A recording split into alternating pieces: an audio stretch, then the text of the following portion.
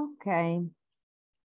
So, uh, what uh, is uh, within this chapter is, uh, and, and then this is the second part of chapter 11. And we already seen uh, some uh, extension for normal regression models.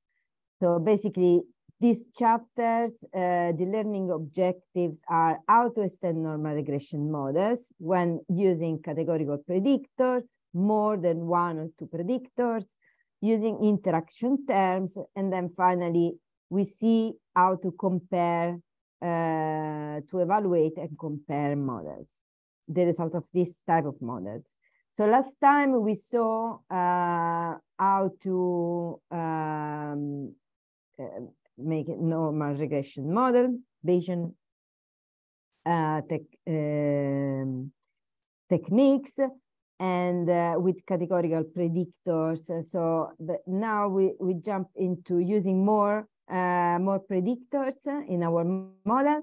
And as you can see, uh, so we are still using uh, the temperature uh, in Australia. So what our objective is to uh, basically predict afternoon temperature level. Uh, so at 3 p.m., more specifically, in Australia.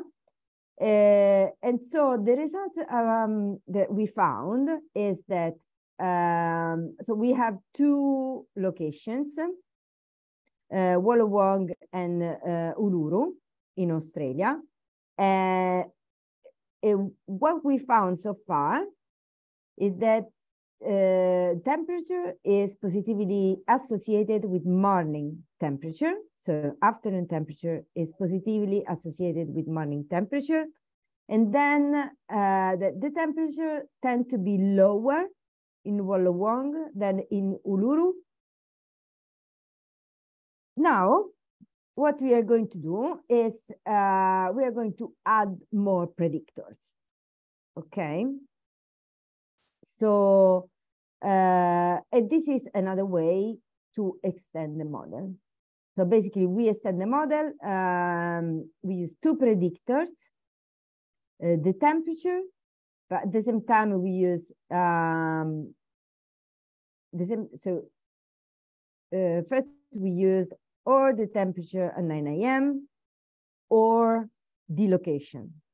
So the temperature at 9 a.m. was regular normal regression model with one predictor. Uh, and then when we use um, uh, the location without temperature 9 a.m., so always one predictor, but we use the location. So we use these categorical. So we extend the normal regression model to categorical prediction. What we are going to do is now add two uh, predictors. So the temperature, 9 a.m., and the location at our regression model with Bayesian technique. So first things, that, uh, first step we do, we do a little um, data visualization. And we see that, uh, uh, so both locations, there, there is a positive, what we already mentioned, okay? So positively associated and temperature tend to be lower in Wollongong than Uluru, okay? Uh, this is going to be the third model, okay, that we uh, build. Uh, and, and so the first one was just with temperature AM. I'm going to say this again. The second was location. Now, the third model is with temperature and location. So we're still using Stan GLM, uh, the data weather. Um, we didn't go back to the, the data itself, but as I said, we can even have a look um, the data there is these two locations, the wind speed, the humidity, the pressure, uh, uh, uh, the temperature, and all this information at early in the morning, 9 a.m. And what we are going, we want to predict is the temperature level at 3 p.m. based on these other predictors. For now, uh, we use that, the, these two predictors uh, on this data and the family is Gaussian because we saw last time the reason why it's Gaussian uh, and uh, it's behaving normally when we simulate um, on, a, on a large scale. Uh, this uh, is our prior guessing based on the average value of the temperature which was between 15 and uh, uh, 25. So, no, not recalling exactly, but so we actually calculated uh, this uh, uh, base. Uh, th this is 25 is basically the mean, the average value of the temperature at 3 p.m. calculated on the minimum and the maximum value of the the temperature. And uh, so the other uh, prior uh, is set to normal. And uh, uh, this, this is the intercept. This is for the coefficients, the other betas. Uh, and this is the exponential. so we suppose that our sigma, so standard deviation or white noise or uh, so the residuals is going to they're going to be uh, behaving exponential, so have a, an exponential uh, trend um, distribution. Okay, so then we had uh, uh, as usual this some other options which are the chains. I didn't say that too much, but this is why I'm going to repeat this. So the chains are the number of ways we we run um, the model and the iteration uh, within each chain uh, we, we set to an higher level. And then we set the seed because it's going to be random. And then here, uh, it's a new uh, thing. So basically, we set the prior to true. Uh, if you can see, uh, now I saved the model and um, we can see the model prior. Um, so basically, this is uh, the result of our model. Okay, so uh, I am in the uh, visualization of the model result. And so here is the formula, and these are the results. So the median and the uh, madness of the um, standard deviation. Uh, and so the temperature, the intercept, and the temperature and the location. Um, result of the model and as well as the uh, variation of the uh, random uh, noise. And so we see that if we use this function, add predicted draws, okay, then what, what's happened next is a bit like repeating of those things.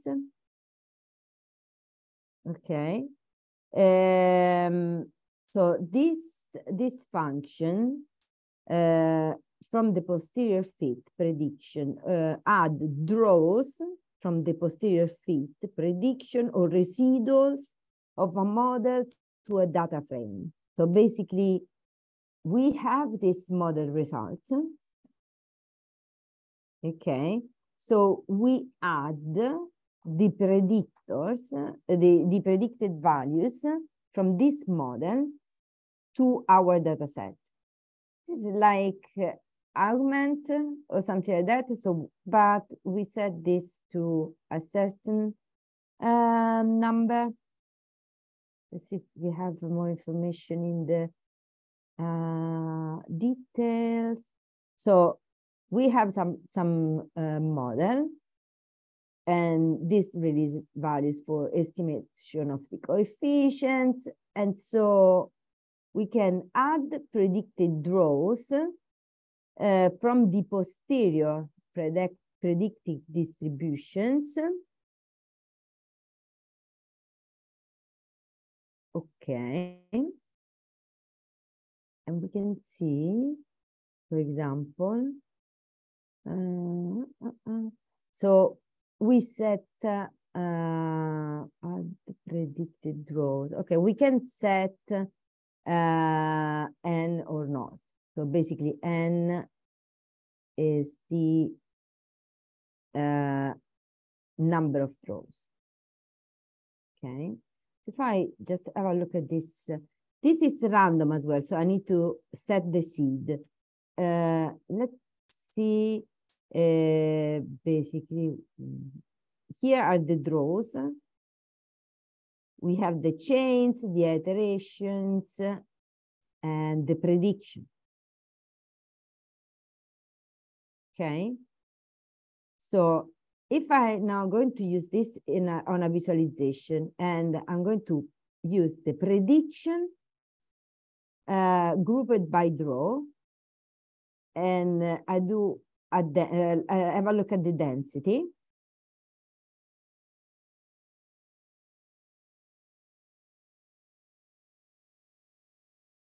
Okay, this is a uh, nice to see that um, you know uh, some somehow it's very uh, you know uh, so some somehow there is a um, a certain variation for uh, lower level of density but then the the the variation strings uh, for for the highest values uh, of densities. So when uh, the probability density is its peak, so the variation is very uh, thin. Um, and so I think it's uh, in, that condition is going to be more predictable. But, uh, and and so basically what, what we did is so far is simulating a hundred data sets from our model, okay, which are the draws. Uh, uh, starting from our assumptions, which are the priors uh, that we set. And so we can see that our prediction density it's uh, behaving um, uh, this way. What what the um, book says about this? Um,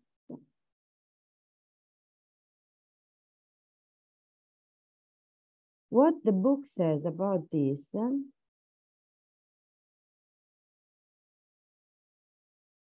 Okay. So basically, um,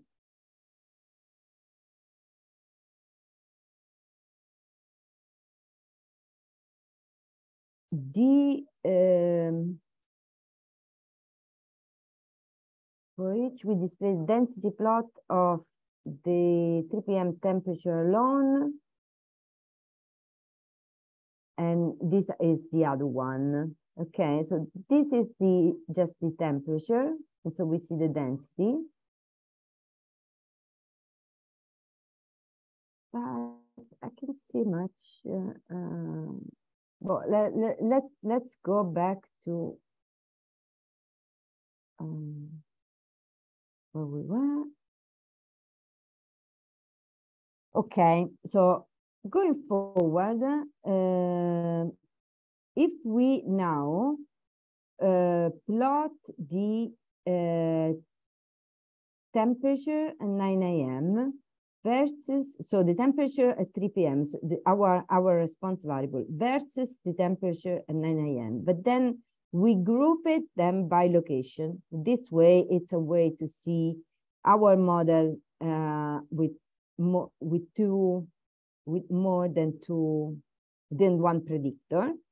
Okay, we can see that this is the uh, basically what's happened in, in the two locations. Okay. And, um, and this, all these lines are the draws. So our hundreds of simulated uh, outcomes.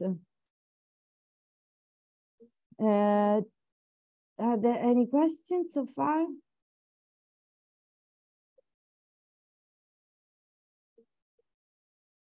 Um, so as I said, um, if we use, uh, so before we use prior PD in our model, as you can see, okay, prior PD equals to true, now, what we do is to is to use prior PD equals to false.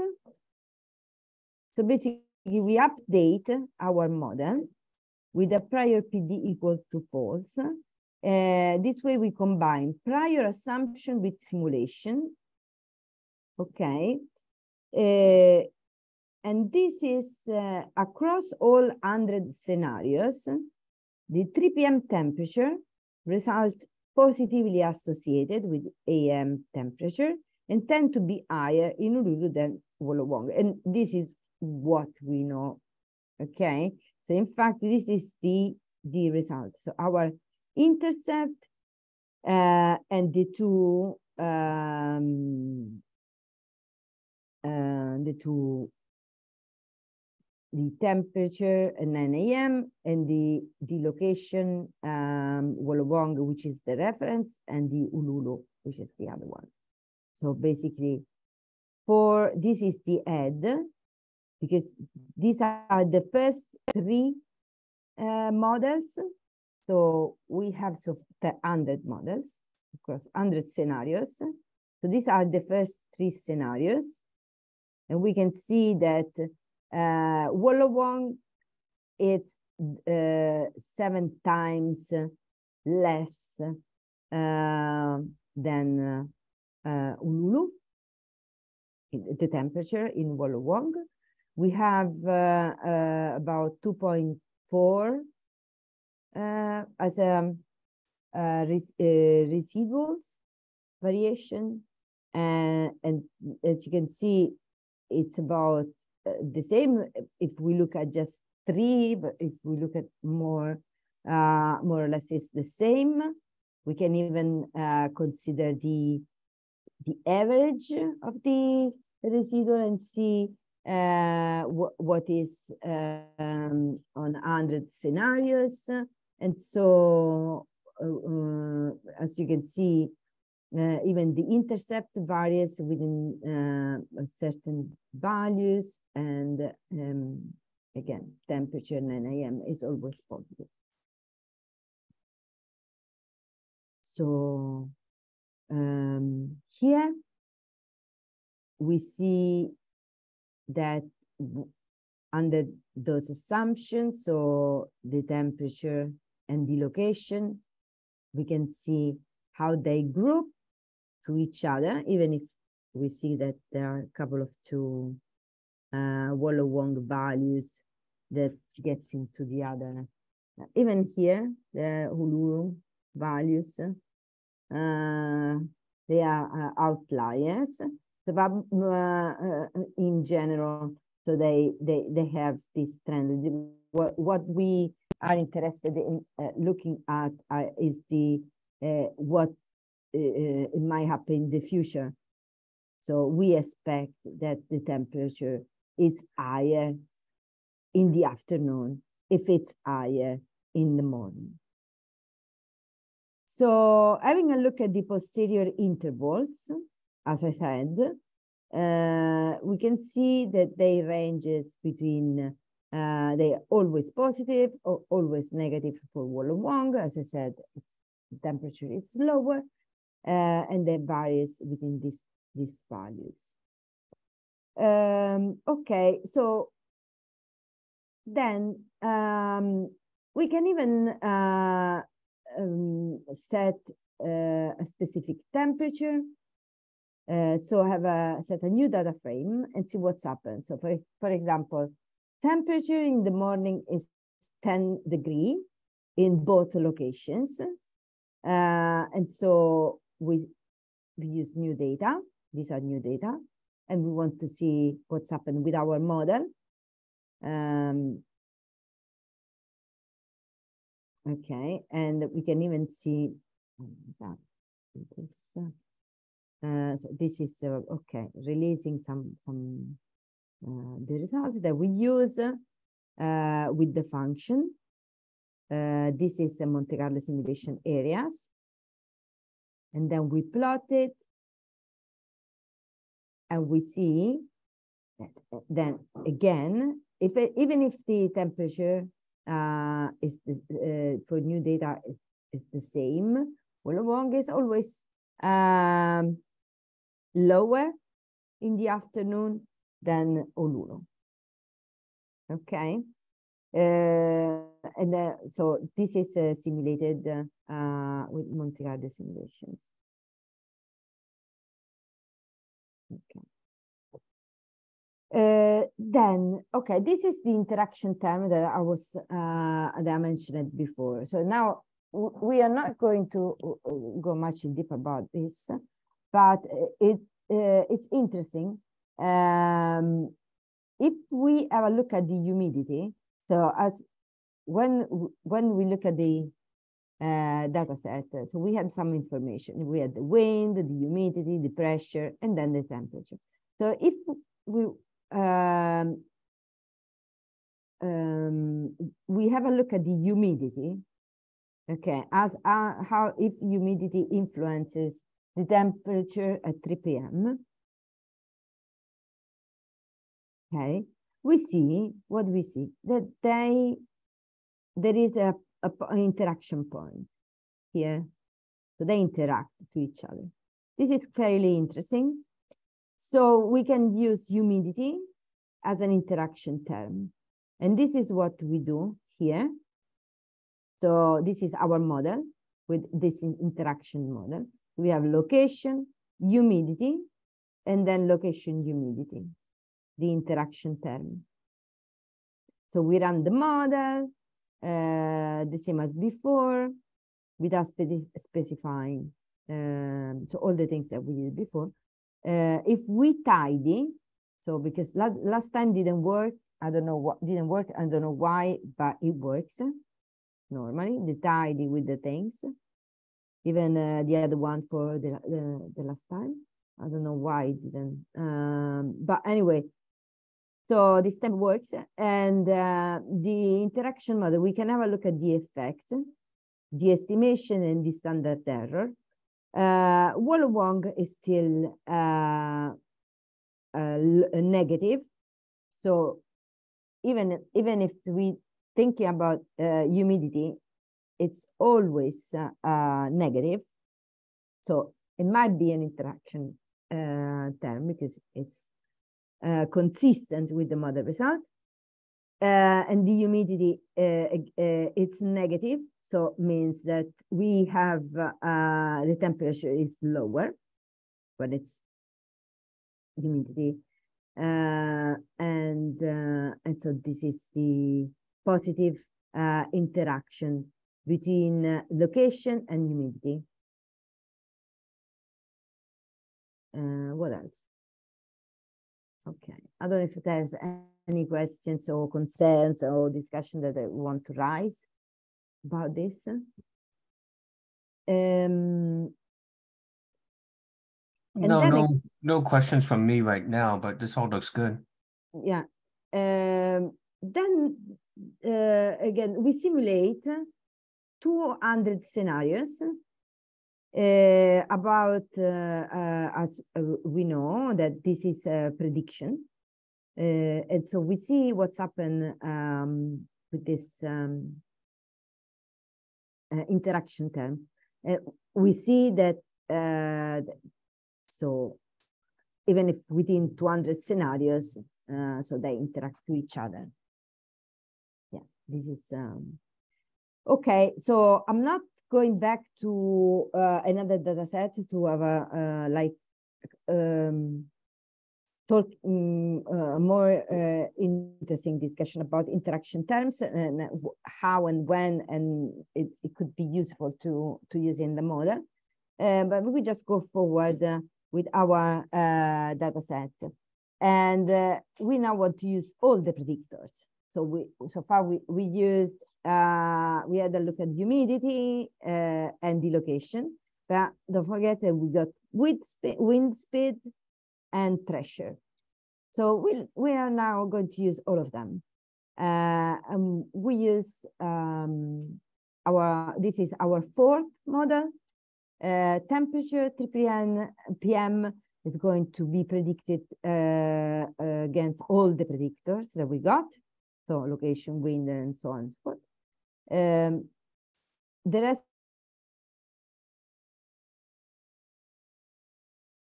Uh, and this is uh, the uh, the summary.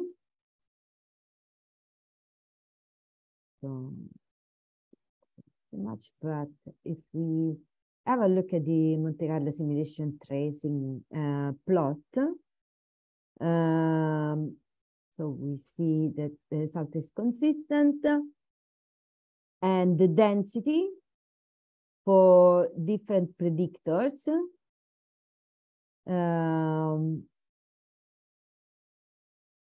so, and then the, um, um, so the correlation, okay. Um, let's have a look at this function.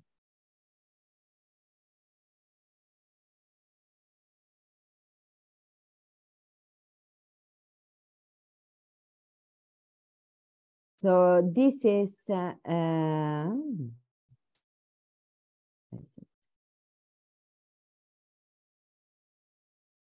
uh, autocorrelation plots. Okay, uh, autocorrelation plot by chain and parameter. The lag argument gives the maximum number of lags at which to calculate autocorrelation function. And this is a line plot. Um, so this is the maximum value so that we don't uh, uh, basically one is not um,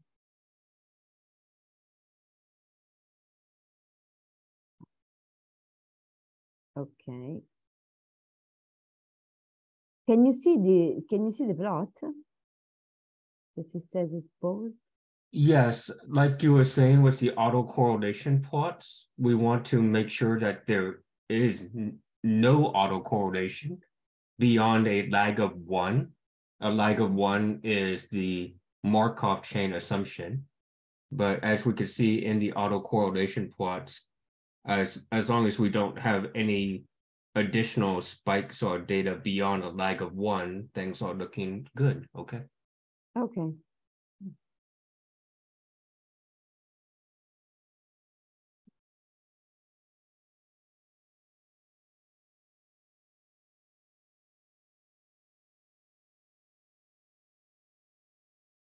Mm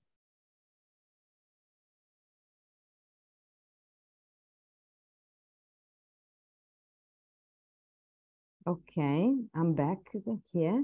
Uh, and uh, if we use posterior interval on our fourth model, we can see uh, that our results are, um, so basically, when we add predictors and even interaction terms, the first things that let us think about if there's any wrong in our model that we can uh, that we should like um, think mm, put more attention or think about a, a little more a little bit more carefully is uh, if our uh, starting points change the uh, sign.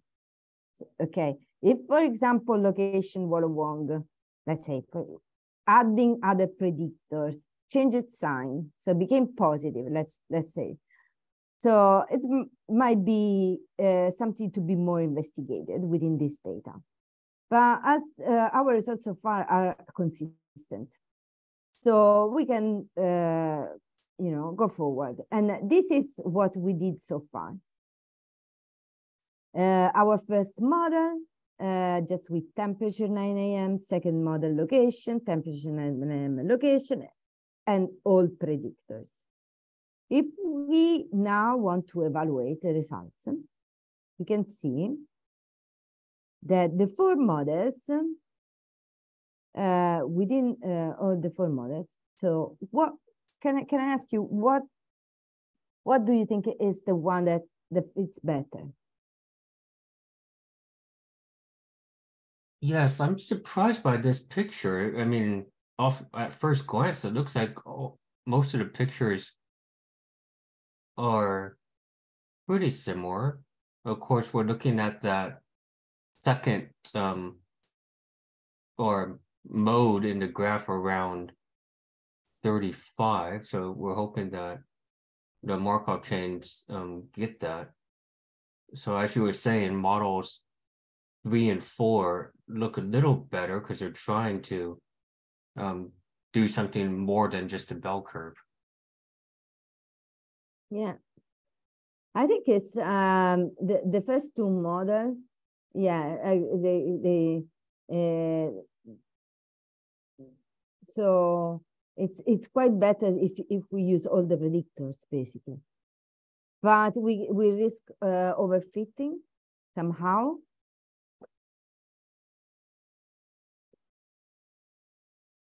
Um, so here what we do it's evaluating uh, the accuracy uh, through a, vis a visualization. And um, if we use this um, posterior predict function,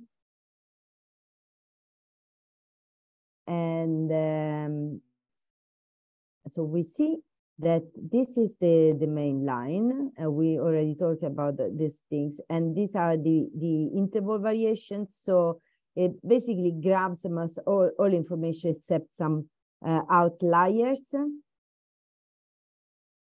And even here, this is a nice violin plot. We can see with new data, if we use the, the weather, so our data as a new data, and we test the model on our data, so on our observations, we see that we grab uh, uh, almost all, all the information. And then uh, what else? Uh, so here uh, we do the same thing, but uh, um, okay, this is uh, um, because this is model three. Okay, I didn't say that. This is prediction one on model one. Okay, this is prediction one on model one. This is prediction two on model two. And we use the violin. And this is prediction three on model three. And we see um, the, in the, within the two locations. And then uh, if we summarize the, the result for, uh, this is done just for model, uh, for model one. Okay, we see that we have a mean average error of 3.2 or 3.3. And these are the data. So we can see that in general, let's have a look at this again. So we do this uh, into k uh, 10 um, equals to 10.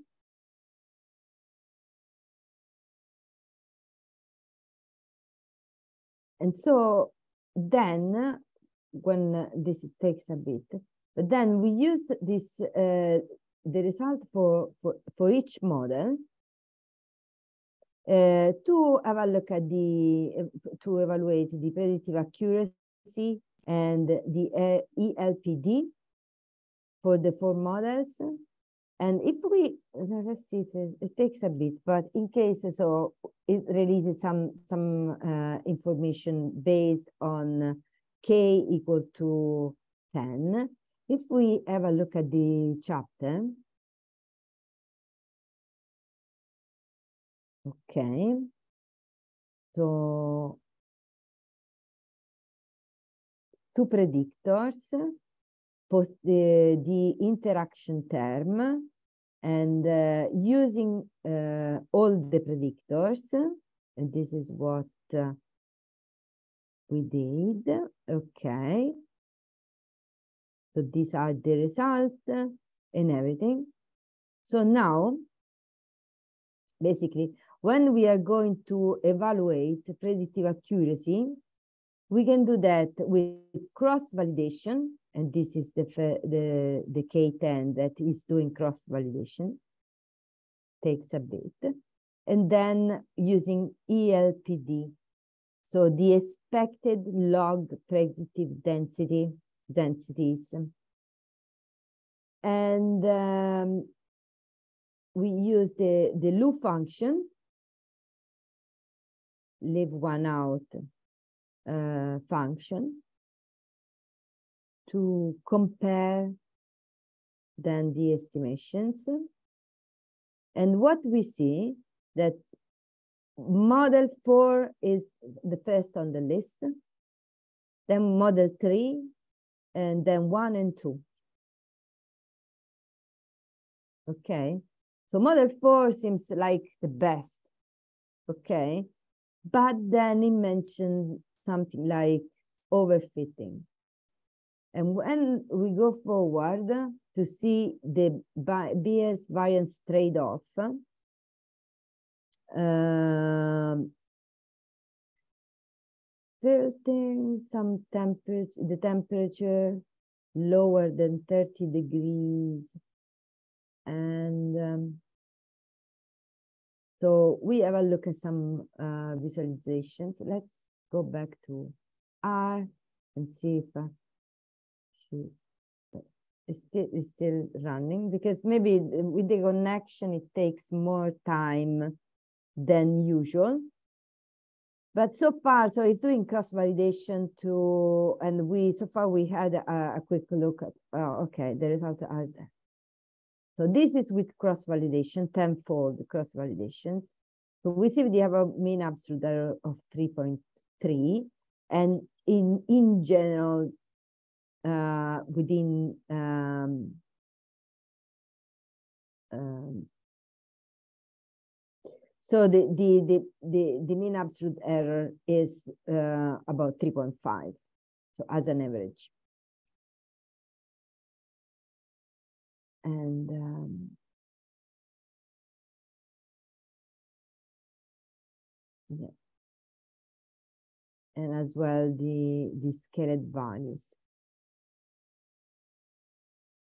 So, and uh, with if we use uh, uh, the leave one out, um, we can see that the weather model four and model three are the first two uh, models, but then basically we need to uh, consider uh, overfitting um, and uh, the bias variance trade-off and so uh, we need to have a look at the performance uh, across different data sets, okay? But, but now we are using just one type. So we first simulate the posteriors for each model, and then we calculate raw and cross-validated posterior prediction summaries for each model. What this means is that um, our data set is now filtered by one location, Wollongong, and with temperature lower than 30 uh, Celsius degree. what's happened. Um, and so we can have a look at the uh, sample one, which is the head, and the sample two, which is the tail. Okay. If we do a quick uh, visualization, so the first visualization is this one here. Okay, we can see that the temperature based on the day of the year, it's uh, this is oh, in a year at 365. Okay, so from day zero to uh, 365. You can see that the temperature is starting to be higher and then uh, going down to go back up again. Uh, and this, uh, the, the lower uh, point is around 200, 150 to 100 days of the year. Okay. And um, uh, we use sample one, okay, which is uh, this the, the the the head. We have mean temperature, max temperature, rainfall, and um, and all the other informations. Rain today, day of the year. Okay. And um, we now add to this uh, visualization uh, the smooth, let's have a look at this uh, values, uh, and some uh, other diff different type of smooth, one linear, one uh, simple uh poly squared, um, x squared, and the other one it's uh, uh, with uh, 12 um, as a polynomial. So.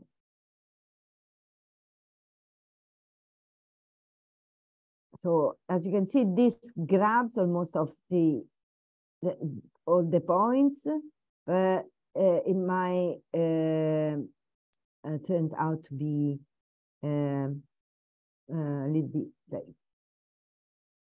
if if we try this as a, uh, with new data, we might not be able to guess exactly the, the, the, the next point, basically. Um, and so now we test, uh, we repeat the, the things that we did before. We create model one, model two, model three, uh, and now I need to go back to the book because uh, uh, as you can see, this is a um, high bias and low variance.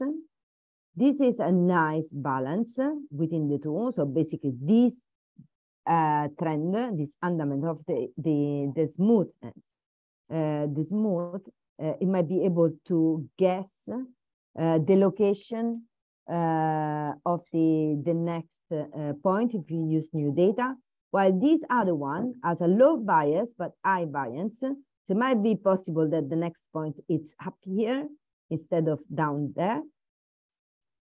So uh, so we need to uh, think about this um, uh, trend. Um, and um, so for, for this reason, we have a look to evaluate the models. Uh, we create other, other three models, model two, model one, model two, and model three. Okay, with this polynomial. So the with this di different, uh, basically, uh, the first one is just with the day of the year. We have a look, what is the temperature if just uh, uh based on the day of the year. Uh, and uh, the, the other uh, two models are with polynomials. So what is what this means? It's a transformation, such as if, even if we use the log, the log of the day of the year. So we use a polynomial, which is a sort of a spline So it is a spline, uh, a transformation of the data that will be able to um, uh, grab uh, as much uh, information as possible. And in fact, it, it does with, with 12 as a coefficient for, for the, the third model, but it might lead to overfitting. So it's, it's too, too, too, too much uh, preciseness. There is too much preciseness for guessing the next uh, value rank. So uh, even here, uh, we have a look at the, the summary for all the models. So model one, model two, model three, and even the result of the cross validation. And here this the is it's a summary. So as you can see, model one is the uh, first on the list. Uh, so it, it's the one that uh, basically, if I'm not saying wrong, um, so these are so far the results. So model one is 2.8 and the other one are lower. Uh, as well as the cross validated uh, mean absolute error. It's consistent uh, with, within the three models. Yeah.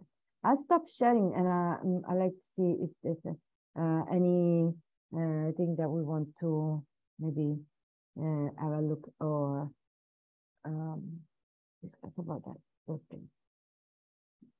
Uh, thank you for that. I really appreciate the explanation of why we're going through the different models and really like that section at the end to talk about the bias variance trade-off. It's nice to get the machine learning in here as well. We do have about eight minutes. Um, was there anything more that you wanted to talk about, about the interaction terms? I know you were um, thinking Yeah, um, but not, not for today. Um, not sure. I need to uh, maybe um, think about that more. I don't know if you want to. Uh, it's a, um, uh, just I said that it's an interesting argument, and uh, it, it, it will work to um, uh, go back to uh, have a look at the even the other data set because it's mentioned in the chapter basically. Yep. Okay. Thank you. Thank you.